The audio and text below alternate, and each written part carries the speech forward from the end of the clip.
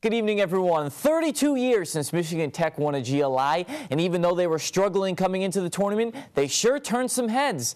The Huskies posted two shutouts over the weekend. They shut out Michigan in the first round of the tournament, 4 to nothing, and then beat Western Michigan in the championship game 4 to nothing as well. And let me say this, the Huskies would have never won this championship without the sensational play of Phoenix Copley. The freshman goalie had 70 saves and earned his first and second shutout of his career, and it sure felt good to be a Husky fan this weekend.